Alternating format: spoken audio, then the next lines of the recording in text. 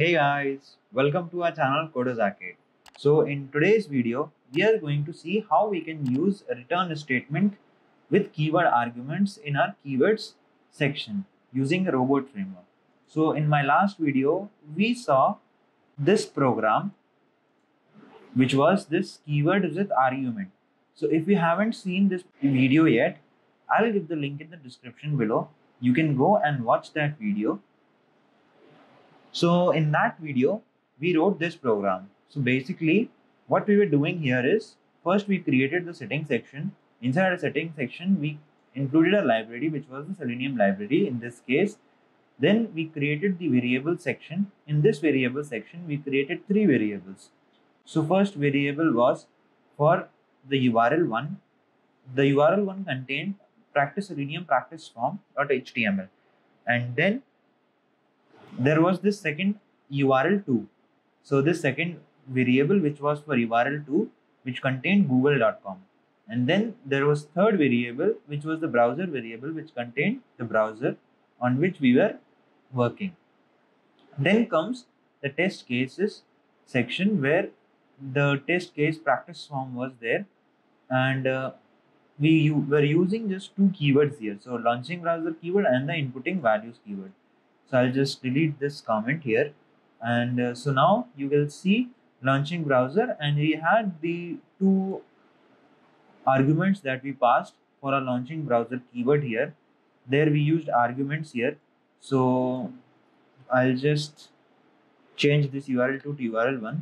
So what this will do is it will open the browser. It will go onto the practice Selenium practice form and it will be open onto the Chrome browser and then it will go on to this keyword here. So it will go on to this web url so now this web url will be fetched from this url1 instead of directly fetching from this url1 variable.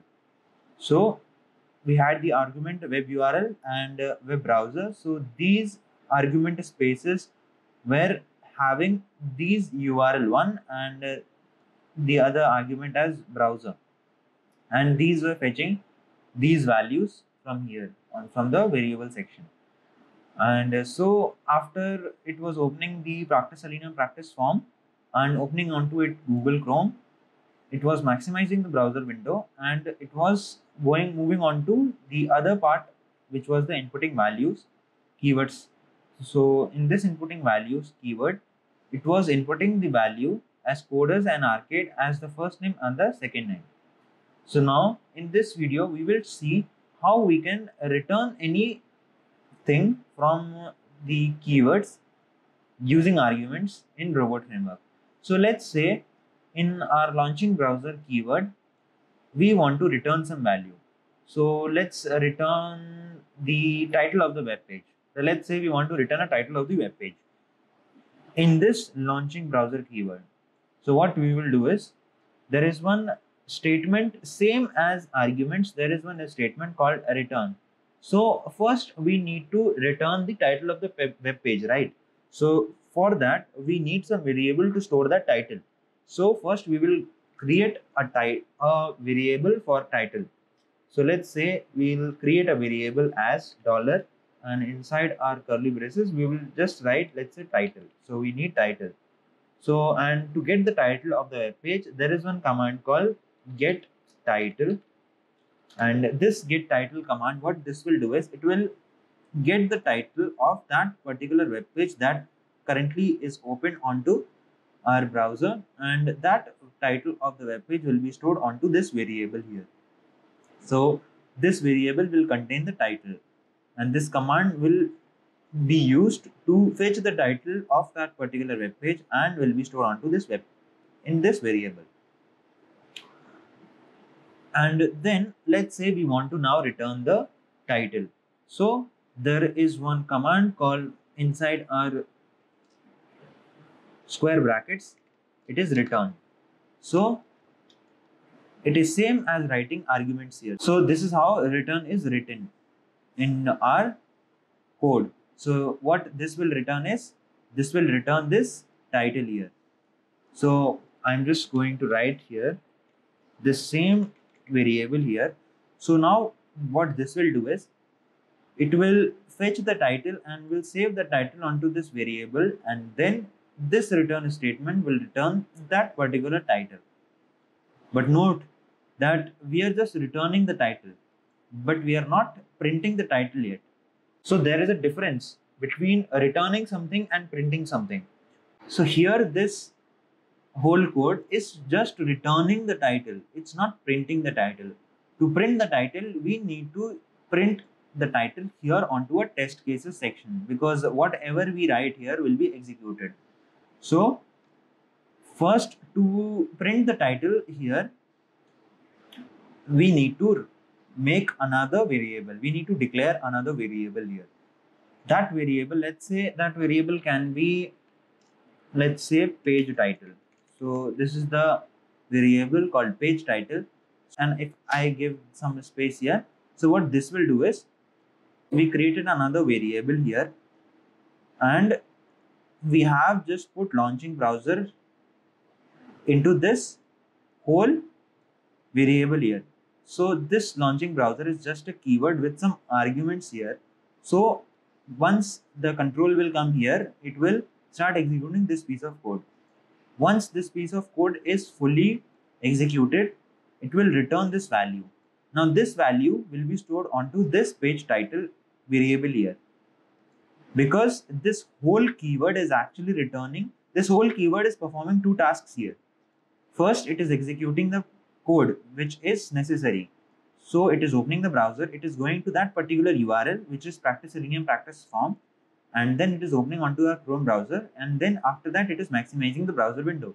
So this is its initial thing that it is doing. But also it is returning some value. So this whole keyword is actually returning title of the page. So this returning value is stored onto this variable here.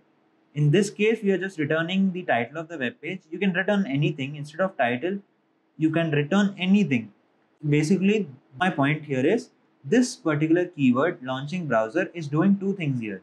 First it is performing the task that we are giving it and then it is returning something. And whatever this whole keyword is returning will be stored onto this variable. That is why we wrote this whole keyword into this variable here. So now whatever value. This keyword will return here. This whole keyword will return here will be stored onto this page title. So in this case this keyword is returning the title of the page. So it this title of the page will go on to this page title. And now here we are going to print this variable here, not this variable. This variable is just for returning the value. And that returned value is stored onto this title. And once this returned value is returned, that returned value will be stored onto this page title here, this variable here. So after this line, we are just going to write log to console. So this log to console is used to print the variable that we want to print.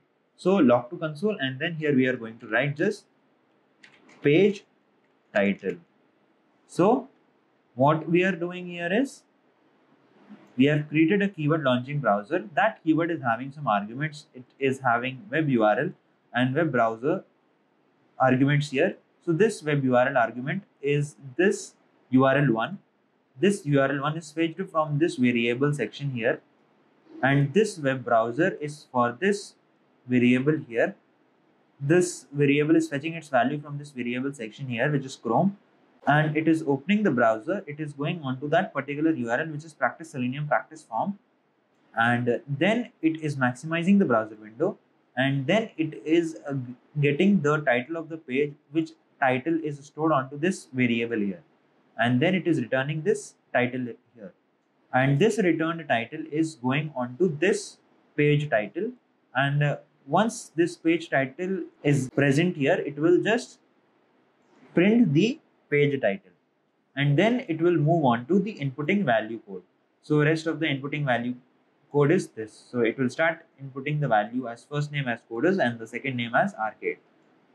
So this is how we can return the value. So don't be confused here. Actually my whole idea of making two variables here was just because this keyword is performing two tasks which is its main task, which is opening it, opening a browser and then maximizing the browser window. And the second task was this whole keyword is actually returning this title. So that value, which is it, which is returning, that value is saved onto this variable here. And then using this variable, this variable is transferring that value to this variable here. That is why we wrote this variable first and we wrote this whole keyword after that variable. So whatever value this this keyword is returning, that will be stored onto this variable here. And that variable will be printed through this log to console command here. So let's try running it and see if our code is working fine. It should work fine. So if I write here robots and then automation, which is the name of our directory, and then keyword, which is the name of our file. So keyword dot robot. And if I press enter here, you will see it will open the browser. Once it is loaded, it will maximize the browser window and it will just fill the first name and the last name. You see it filled the first name and the last name. So if I close this browser, you will see our test is passed. And where is our title that it returned? This is the title that it returns, a practice form. Don't be con confused. This practice form is the title of the page and this practice form is the title of a test case. So let's try this with some other URL so you'll understand better. So or we already have a second URL here, which is google.com. So let's just change this argument from URL1 to URL2 and we are just going to comment this inputting value part. So this way we will not be executing the this keyword here. So now what will happen here? It will just launch the browser. It will go on to google.com. So it is now URL2. It will open the browser. It will go on to this web URL. Now web URL is containing the URL2 instead of url1 now it is containing url2 so it will fetch the value from here and then it, it will fetch the browser which is the chrome browser and then it will maximize the browser window. Once the max once the window is maximized it will fetch the title of the page. Now this time a title of the page should be google. And that title of the page is printed with the help of the log to console. So now let's try executing our code here. So if I press enter, you will see it will go on to Google and it has maximized the browser window. And if I close this again, you will see a test will be passed. And now this time, our name of our title is this name, the title of the page is Google. As you see here, it returned the title which is Google. And this is just the name of our test case here, practice form as you can see here. Now one more thing is I wanted to show this actually this log to console printed this title this variable onto our console right? Onto our terminal this terminal. Now let's say we want to print this title onto our log file. The log that it generates. So what we will do is we have already printed the page title using log to console. I'll just going to write here log and by giving some spaces I'm just giving that page title here.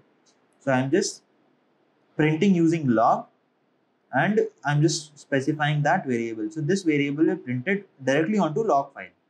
So it will print log to console as well. So it will print onto console and the log file.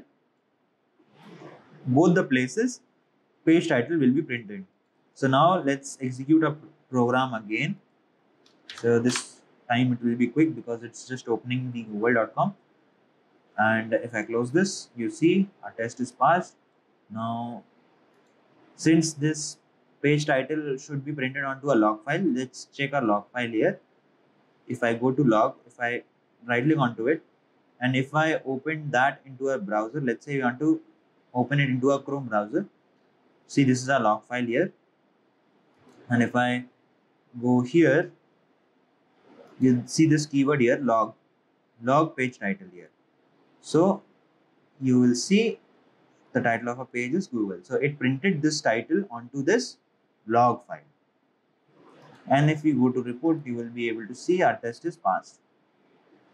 Everything is green. And this is a log file here. So this is how you can print anything, you can return any value using the keyword arguments in a robot framework and this is our code.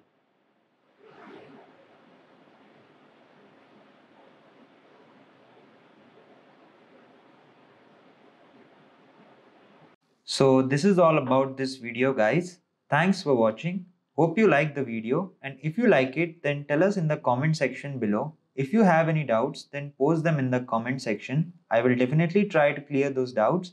Also like, share and subscribe to our channel Coders Arcade and press the bell icon so that you will get a notification when we post our new video. Thank you. Happy learning.